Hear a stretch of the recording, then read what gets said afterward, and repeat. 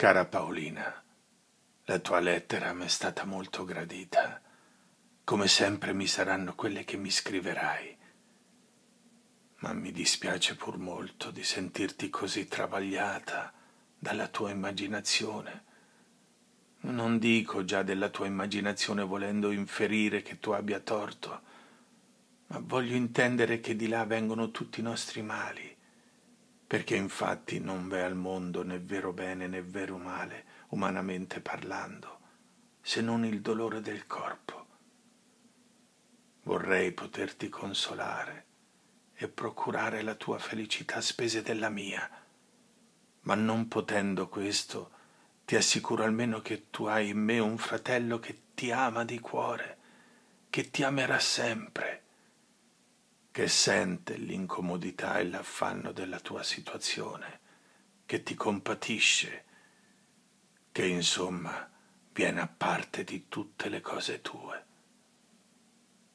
Dopo tutto questo, non ti ripeterò che la felicità umana è un sogno, che il mondo non è bello, anzi non è sopportabile se non veduto come tu lo vedi, cioè da lontano che il piacere è un nome, non una cosa, che la virtù, la sensibilità, la grandezza d'animo sono non solamente le uniche consolazioni dei nostri mali, ma anche i soli beni possibili in questa vita.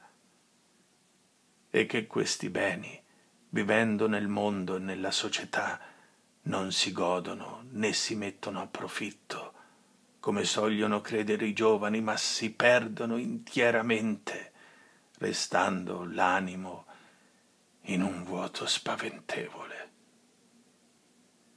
Queste cose già le sai, e non solo le sai, ma le credi, e non di meno hai bisogno e desideri di vederle con l'esperienza tua propria, e questo desiderio ti rende infelice Così accadeva a me, così accade e accadrà eternamente a tutti i giovani.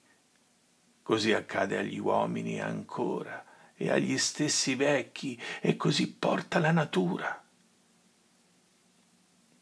Vedi dunque quanto io sono lontano dal darti il torto, ma voglio che per amor mio tu faccia qualche sforzo ti approfitti un poco della filosofia, procuri di rallegrarti alla meglio, come io so per lunga esperienza, che si può fare anche nel tuo stato, niente meno che in qualcun altro.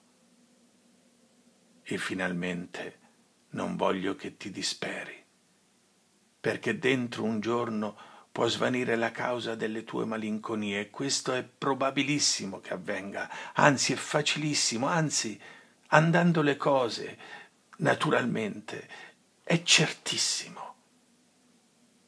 Quello che io potrò per te, devi credere che lo farò. Intanto divertiti. Credi tu che io mi diverta più di te? No, no, sicuramente sicurissimamente. Eppure, in questi ultimi giorni ho fatto e seguo a fare una vita molto divagata, ma tieni per certa questa massima riconosciuta da tutti i filosofi, la quale ti potrà consolare in molte occorrenze, ed è che la felicità e l'infelicità di ciascun uomo, esclusi i dolori del corpo, è assolutamente uguale a quella di ciascun altro, in qualunque condizione o situazione si trovi, questo o quello. E perciò, esattamente parlando, tanto gode e tanto pena il povero, il vecchio, il debole, il brutto, l'ignorante, quanto il ricco, il giovane, il forte, il bello, il dotto perché ciascuno nel suo stato si fabbrica i suoi beni e i suoi mali, e la somma dei beni e dei mali che ciascun uomo si può fabbricare è uguale a quella che si fabbrica a qualunque altro, forse volendoti consolare, t'avrò annoiata con tanta filosofia. In ogni modo stammi più allegra che puoi ed aspettami, ch'io ti consoli a voce, seppur già a quell'ora non sarai consolata dalla fortuna. Saluta i genitori, ai fratelli, a Carlo in particolare. Io sto bene e ti amo. Addio.